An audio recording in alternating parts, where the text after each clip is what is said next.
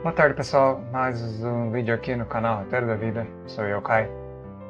É, bem, o vídeo de hoje é um FV, um Filosofia Viva, e no caso Filosofia Social. E também, por terceiro segmento, a quarta infância.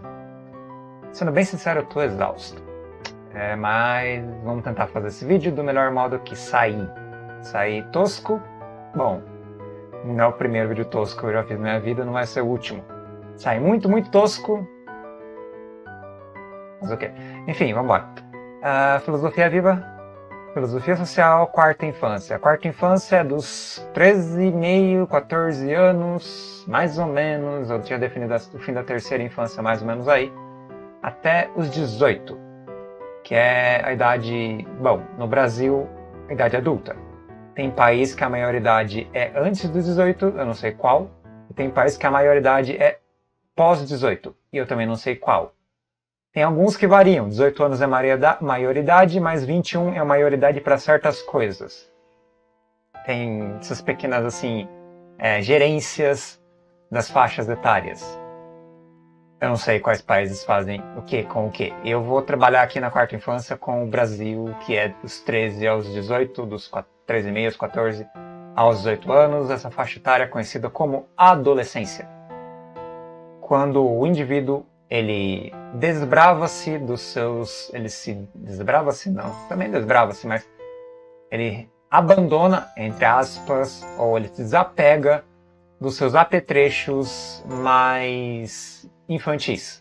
Nos, nas estruturas infantis de brincar, nas estruturas infantis de visão de mundo, ele se torna um mini protótipo de adulto, um pseudo-adulto. E esse pseudo-adulto vai ser um pseudo-adulto para o resto da vida. Vocês descobrem nos próximos é, filosofias vivas de filosofia social. Mas esse adulto, adolescente, ou miniatura de adulto, ou protótipo de adulto, o que, que ele faz? Ele age como um adulto deveria agir com pouca potência, mas age. O que quero dizer com isso? Que ele já está introjetado nas responsabilidades, introjetado nos desejos, introjetado nas ambições, nos desejos gerais, introjetado nos valores, introjetado na, na defesa de ideias, na defesa de teorias, defesa de verdades.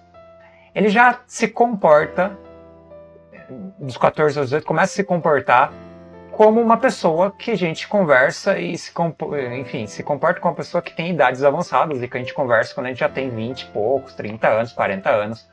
Ou seja, ele já tem ali o embrião de complexidade. Se ele é complexo, é uma coisa que você vai agradando. Tem adolescentes extremamente complexos, com temas que eles dominam infinitamente melhor que muitos adultos, porém em âmbitos mais, digamos, de mundo de que exige acúmulo, exige experiência acumulada, como política, como moral, como filosofia, esses campos que exigem que você tenha uma imersão neles por anos ou por pelo menos um bom tempo, mesmo que não demore anos, que é a especialização de um adulto, que é normal. Adultos são especializados. Tem alguns que são especializados em várias coisas ao mesmo tempo. Tem, mas em geral é umas cinco coisas. Tipo, é, duvido que eu comece a falar com um sociólogo aqui de videogame. Às vezes tem um sociólogo que joga videogame. Mas digamos que é mais fácil ele ser bom em filosofia, em sociologia, em academicismo, em política. E talvez ele não esteja jogando o novo jogo da onda, o da moda. Talvez. Acontece de jogar? Acontece. Mas talvez ele não jogue Magic, talvez ele jogue Magic. Ou quer ver uma coisa que ele talvez não faça mais? Jogar bola. Talvez ele não saia na rua com os amigos jogar bola. Talvez faça isso também. É, é muito estranho você definir um padrão. Mas a pegada é: adultos se tornam engessados, concretados. A rotina de um adulto é alienada. Mais do que a de uma criança, mais do que um adolescente. Porque o adolescente está num processo de descoberta. Ele, ele é jogado no mundo principalmente na escola também, mas era jogado no mundo para ele observar as possibilidades de transformação de si mesmo. E conforme ele vai envelhecendo, ele vai se transformando nisso. Já na pré-adolescência, mas na adolescência mais ainda. Ou seja, se ele é um religioso, ele vai se tornar um religioso de fato e vai defender essa religião até muito tempo. Talvez ele mude, talvez não. Se ele é um adolescente revoltado e rebelde, ele vai expressar isso. Ele vai ser contra as leis, contra as regras, ele vai ser irritante às vezes. É, vai ser uma pessoa que pode ser até violenta, em certo sentido, ou ao menos mal educada, ou talvez. Hum, ele pode ser muito educado, muito polido, mas com certeza um anarquista em protótipo. É um cara que, além pode ser um ótimo questionador, ele pode ser uma pessoa muito é, intuitiva ou astuciosa e já pegar as falhas dos sistemas, pegar as hipocrisias, pegar, enfim, adolescentes eles de fato são muito complexos. Só que eles são complexos no sentido de que eles são protótipos adultos. Eles não são complexos no sentido de que eles são crianças potenciais que veem o mundo de maneira muito fluida. Eles veem o mundo de maneira determinada. E eles conseguem, através da, do entendimento do sistema, do entendimento das, do movimento das peças, descobrir as jogadas e descobrir quais os erros das regras, quais as falhas nas jogadas. E através disso jogar de fato. Eles aprendem a mimetizar, a entender os sistemas, reproduzir os sistemas e, e dar checkmate, dar, dar, dar várias jogadas diferenciadas ali no, no tabuleiro da vida adulta. Então eles são enfrentativos. É que essa palavra eles, têm, eles, eles batem de frente com aqueles que estão hierarquicamente acima deles. Às vezes, muitas vezes também, por já ser um processo de domesticação a longo prazo, eles são alguns adolescentes, falando de maneira genérica aqui, eu falei que o vídeo ia ficar meio ruim, eu tô meio cansado demais para falar, mas enfim. Muitas vezes, em vez de ele bater de frente, ele se torna defensivo, é, que a gente chama de uma pessoa que é mais uh, introspectiva, mais voltada para si mesmo, ou crítica sem expressar, uma pessoa tímida, uma pessoa que não se, se, não, não se coloca em perigo, ou não se coloca em conflito. Pode ter também. Tem muito adolescente que abaixa a bola, observa, tira suas conclusões, segue o jogo e se vira. E, e aprende a cumprir papel. O que é cumprir papel? Ser profissional naquilo que é exigido de você. É quando você já está tão automatizado e tão mecanizado mesmo, no sentido forte da palavra, em parte, a seguir o roteiro, que você sabe o papel que você tem que interpretar, o que você tem que fazer, e você faz aquilo que você tem que fazer, consegue os benefícios ou os malefícios da, da, do resultado disso e segue em frente. Porque você já entendeu como é que funciona também. Então você pode ser uma pessoa que bate de frente para mudar o sistema, para rebelar suas emoções, para, enfim, expressar a si mesmo, ou você pode introjetar isso também, é, seguir as regras e às vezes mimetizar ao ponto onde você se torna extremamente domesticado e dócil. Tem muito adolescente que pode ficar dócil ao sistema e seguir a linha. Seguir a linha do quê? Conseguir emprego, é, fazer algum tipo de formação específica, conseguir um futuro. Se for muito rebelde, e é isso que acontece com as pessoas que são muito rebeldes, elas são excluídas. Rebeldes que são rebeldes que não conseguem ser dóceis, que não conseguem seguir as regras, eles começam a tombar as peças de maneira aleatória e tem punição. O que é uma punição? É ir mal na prova, é não passar no vestibular, é ser um empregado, empregado subalterno braçal, é ser um empregado descartável, uma engrenagem de um supermercado. Desculpa pessoas que trabalham no supermercado, mas pessoas que trabalham com funções facilmente substituíveis. Pessoas descartáveis. Isso no futuro e também no finzinho da adolescência, você começa a trabalhar antes de virar adulto, né? Adulto entre aspas. Então é um processo de maturação de um embrião adulto. E ele está em um grande conflito, um enorme conflito. A adolescência é uma fase de rebeldia que é ou não aprofundada na, nos anos 20, né, na década de 20 a 30, que é a fase da descoberta, principalmente, quando você... A fase da adolescência também é uma fase de descoberta, só que é uma descoberta um tanto quanto imatura. A fase dos 20 aos 30 é uma descoberta mais esclarecida, alienada às vezes, mas no sentido de, de que você experimenta, com a adolescência você é reprimido ainda. Você não sabe se experimenta ou não experimenta. Alguns experimentam, no sentido de experimentar a vida, não qualquer coisa. Também a vida sexual, porque adolescente é pulsão é, hormonal pura. É hormônio à flor da pele. Então, adolescente transa. Adolescente tem contato. Ele descobre o que significa ter um corpo, o que significa ser tocado, o que significa ceder ou querer o corpo alheio se você é masculino e é tem a cultura em volta, o machismo em volta, você se torna um grande conquistador, entre aspas, colecionador, entre aspas, é, um aglutinador, tenta, pelo menos, ser esse tipo de pessoa e efetivar atos é, físicos. Se você é um machinho alfa padrão. E você é convidado mesmo, você é ensinado a fazer isso, você. Enfim. É o caminho do negócio. É, revistas, pornografia, é, indústria cultural, é, indústria de comportamento das pessoas. É, você se torna um mini adulto e mini, mini adulto tem esse tipo de relação. Às vezes engravida alguém na adolescência. E isso acontece com certa frequência. Quanto mais você tiver, quanto menos educação sexual você tiver, quanto mais você for um rebelde ou alguém é, ingênuo e não orientado ou orientado de maneira é, onde você repele a orientação, ou seja, um contraventor, você tende a reproduzir consequências inevitáveis de um contraventor é, que quebra as regras do tabuleiro. Quebrar as regras do tabuleiro é assumir riscos. Assumir riscos é ter consequências. Consequências é ser pai, ser mãe na adolescência.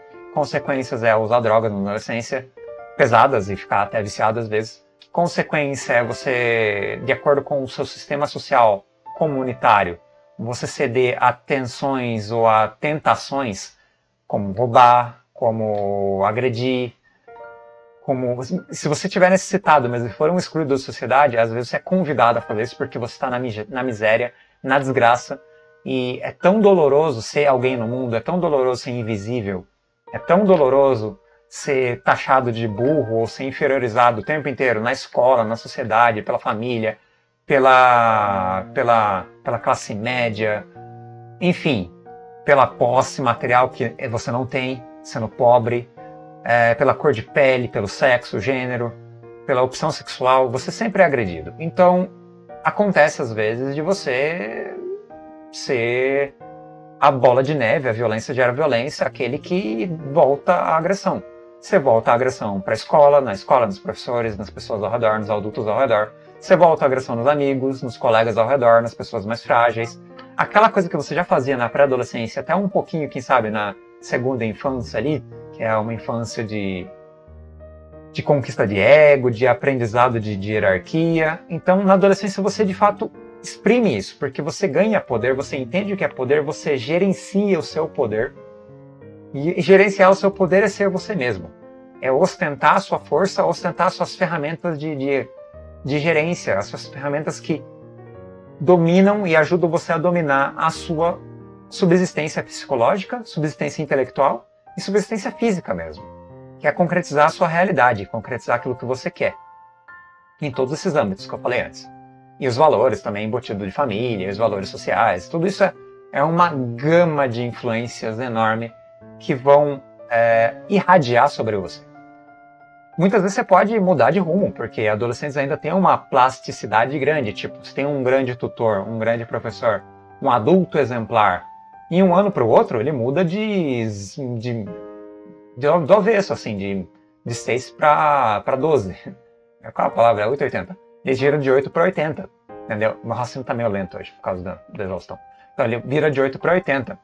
Então a pegada é, é, é extremamente plasmático ainda. Ainda dá para você se transformar e se moldar em outras estruturas. A adolescência é uma fase que, embora ela seja um princípio de definição, uma espécie de trampolim para as consequências da, enfim, de você ser abandonado, de você se tornar autônomo ou ao mesmo, não que você não seja plenamente autônomo, mas responsável pelos seus atos é, e, em grande parte, não protegido pelos adultos, ou pelos que a gente chama de adultos, pelas pessoas mais velhas.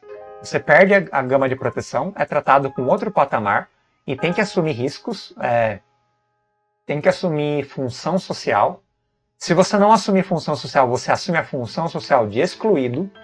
Você pode virar morador de rua, dependente químico, é, pode ter algum problema emocional, algum problema tipo borderline, psicológico, ou conflitos de, devido ao bullying, devido ao sofrimento, devido às pressões na primeira, segunda e terceira infância, na segunda, terceira e quarta infância, primeira não, segunda, terceira e quarta infância, que é a adolescência, ou seja, tudo isso vai aglutinar e vai dar no molde perfeito do caos, que é o ser que está literalmente observando sendo afetado pelos meios ao redor, que é a sociedade, que é o adolescente na sociedade.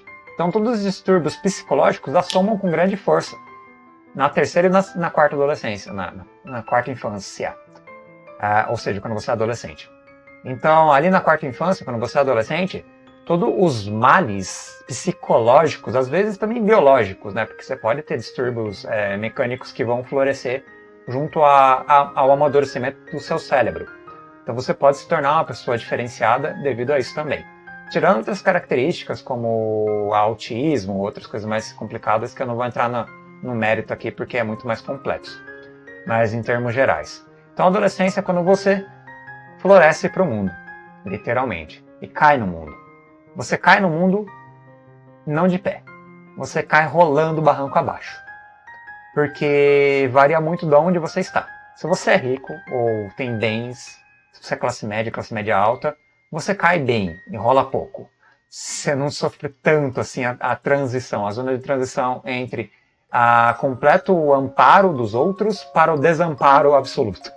O, o próximo ao absoluto. Tá que hoje em dia a gente vive muito na família, por muito, muito tempo, então o desamparo absoluto nunca é realmente absoluto. Eu tô dizendo ele aqui no sentido de que você não consegue mais ser aquilo que você era antes. Ou seja, você sai de uma zona sistemática de, de maturação e vai para outra ambientação onde você é conduzido a ser um membro social ativo. Na adolescência, até o fim da adolescência, você ainda é respeitável que você seja um membro social passivo na adolescência para frente, na vida mais é, de idade avançada, você tem que ser ativo na sociedade. Ou seja, você vai produzir, você vai ajudar a gerir e a cuidar dos mais novos. Você vai ter trabalho direcionado para o tecido social. E no tecido social, fazendo parte do, do tecido social, você de fato vai ser uma célula é, fundamental para o funcionamento da comunidade.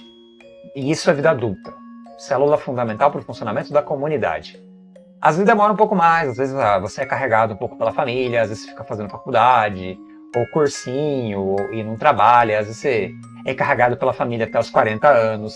Acontece muito no Japão isso com a nova geração de, de hikikomores, de excluídos, que não trabalham, não são formados, são aqueles. Tem uma sigla para isso, né? São os. Ah, eu não lembro. É não empregado, não trabalhando não estudando, não empregado, sem futuro. É NITO, acho. É NITO a sigla, se eu não me engano. Que é um adolescente, adulto adolescentão, né? Um hikikomori. Às vezes hikikomori, às vezes não também. Pode ter essa também, de você pode não estar tá fazendo nada e viver na família é, como uma espécie, entre aspas, bem entre aspas, de parasita. É, cheio de seus problemas, cheio de seus conflitos e não conseguir se misturar na sociedade, se adaptar à sociedade. Você é, não funciona. Eu sou um pouco assim, só para esclarecer, eu sou um pouco assim. Eu não funciono na sociedade. Eu consegui um trabalho público, então eu me viro. Mas eu não funciono na sociedade. A adolescência é quando os traumas é, se tornam, mesmo que eu disse, junto às emoções hormonais, as emoções, or, emoções mesmo, né? Tirando os hormônios também. É quando você joga ah, como se você tivesse. Vou usar a metáfora de, de de vômito, você vomita a si mesmo, sabe? Você tira sua pele. É como se você mudasse de pele, jogasse sua casca fora e saísse do ovo, saísse do berço. É mais ou menos é, é essa fase. É a transição final para um mundo onde você é responsabilizado e é cobrado. É mais ou menos essa pegada. Então, é uma fase muito, mas muito agoniante, porque você está se preparando para isso e você sabe que você vai se machucar, você sabe que você vai ter que fazer alguma coisa. E a sociedade está ali observando você, falando você vai ter que fazer alguma coisa e você não sabe o que fazer. Você está confuso. Você não sabe o que você quer. Você nunca fez nada na vida. Você nunca trabalhou de nada na vida. Algumas vezes sim, algumas vezes você tem alguma ideia, mas é, tem as esperanças. Eu quero A quantidade de pessoas que, que eu perguntei para os meus alunos e falam, quero ser médico, é tipo, teve uma sala que foi até engraçada. Tinha oito alunos só que estavam em pandemia, mas seis deles queriam ser médicos. Seis dentre oito médicos, porque eu não sei, é, é meio ridículo assim. Todo mundo queria ser médico. Eu não entendi. Eu simplesmente não entendi. Mas é uma profissão de renome na sociedade. Não queriam ser advogados, não queriam. Também tem pandemia tal, não sei. Talvez tenha algum tipo de empatia. Mas é, eu sei que eles também, a maioria não vai ser, a maioria ali vai ser, é periferia, a maioria não vai ser nada. É, vai ser alguma coisa, mas não vai ser nada do que eles desejariam ser. Porque o, o processo é complicado, né? Para você chegar onde você quer. Mas não é impossível, é complicado. Mas enfim, aí a pegada é: a adolescência é realmente essa fase onde você é,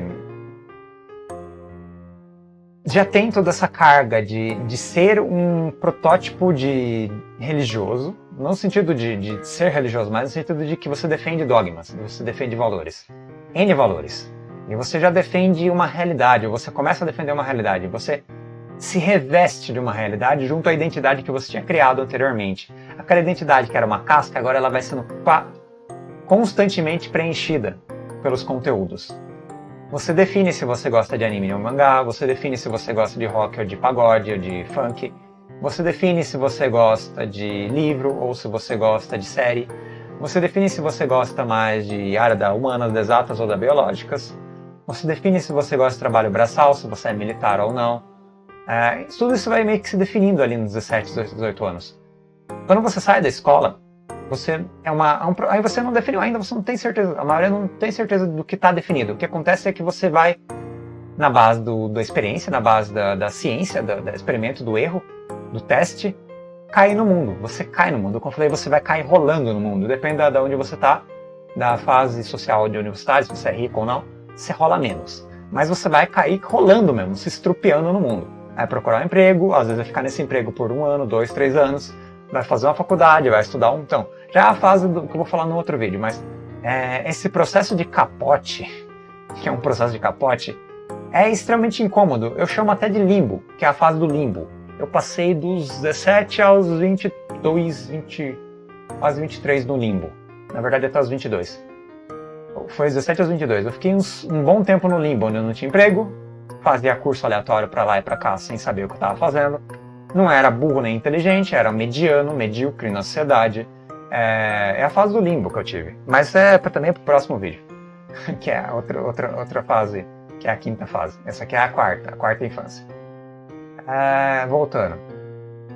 Então, adolescente, essa fase extremamente enérgica, com muita energia, com muita confusão, com muita novidade, com muita ambição. A ambição está no máximo na adolescência. Você quer tudo, você quer o mundo, você quer agarrar mais do que você quer, morder mais do que você pode mastigar. Entendeu? Essa é a metáfora. É, e você está ali naquele ambiente. Ele é opressivo, que é um ambiente social, em todas as instituições sociais. Muitas vezes você é abandonado por segmentos ou instituições particulares, tipo, uma, particulares no sentido que uma ou outra te abandona, a família pode te abandonar, ou a escola pode te abandonar, ou o governo pode te abandonar, entre aspas. É uma fase muito conflitiva. Eu sei que esse vídeo está bagunçado, mas eu já tinha falado que eu estou exausto. Mas já terminando já. É uma fase muito é, dolorosa mesmo. É, para os homens e para as mulheres, ou também para as pessoas que estão descobrindo se são homens ou são mulheres. Que a gente não sabe ainda, né? É, ou se tem atração por quem também tem uma pulsão hormonal sexual enorme. E, e uma é quando você é muito bobinho, é quando a ingenuidade ela aparece com muita força, aquela ingenuidade violenta, sabe? Onde a pessoa ela é estúpida e acredita que a sua estupidez não tem problema. Você se defende muito. Você defende muito aquele, aquela casca que você formou na, na pré-adolescência. Você defende muito aquela casca, aquela, aquele conteúdo. E nisso você tem muitos conflitos. É uma fase extremamente conflitante. É mais conflitante que as outras, bem mais conflitante que as outras. Como eu falei, ou você é muito adestrado e muito dócil, ou você é mais excluído, entendeu? Ou depende muito do contexto da, da, da relação de forças né, da, da família com o meio ambiente de ensino mesmo, que é a escola. Varia muito. A escola é muito central nessa época. E se você está fora da escola, já pior ainda, quer dizer que você já está no mundo adulto. Então, o adolescente que já está no mundo adulto, ele já não é mais adolescente, ele já é a quinta fase. Ele já é a pessoa com mais idade. Ele já foi cortado a, pela raiz ou pelo caule. Essa fase é uma fase que pode ser pulada, de fato. A segunda, a terceira e a quarta infância muitas vezes eram puladas há algum tempo atrás. Tipo, minha mãe mesmo trabalhou na roça desde os nove, desde novinha. Ou seja, já fazia trabalho de adulto, já não tinha infância, era uma infância melancólica, uma infância miscigenada, com paleta de cores do mundo adulto. Era um escravo infantil, era um trabalho infantil, um escravo infantil. Então, na adolescência, é muito fácil você abandonar a escola e cair no mundo para conseguir um mínimo de dignidade na vida, trabalhar para ter dinheiro na casa. Isso nos países de sociedades decadentes, como o Brasil. Em sociedades mais estruturadas, você fica na escola e você até tem uma zona de transição mais longa, onde a adolescência se propaga. Aliás, a adolescência se propagar dos 18 até mais, até ficar. Uma, a, tem a propagação da adolescência, da infância hoje em dia, né? Que é a. deixar tardio né, a transição é, estender, distensão desse momento. É uma distensão desse momento? É continuar se comportando como se você estivesse na terceira ou na adolescência, ou na quarta infância. Terceira infância, no caso, na pré-adolescência.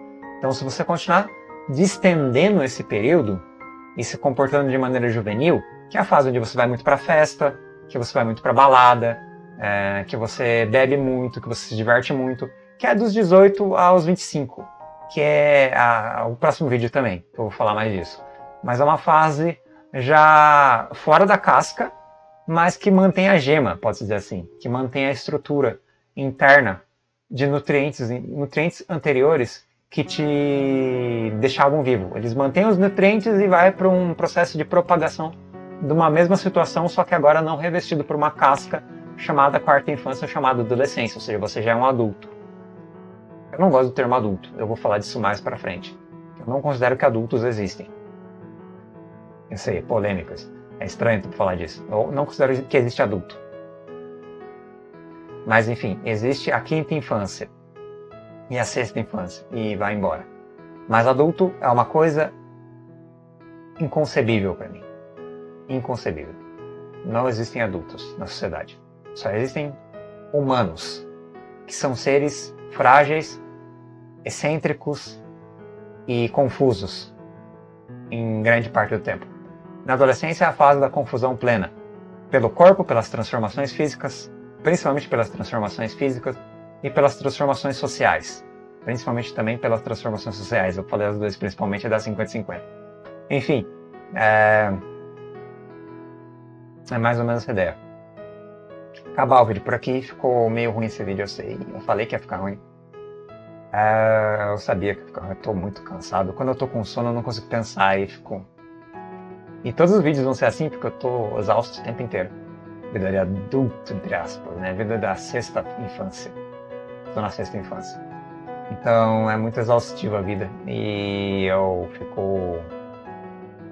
Ah, não vai, as coisas não, não fluem bem. Não, nada flui bem. Nada flui bem mesmo. Tudo fica travado.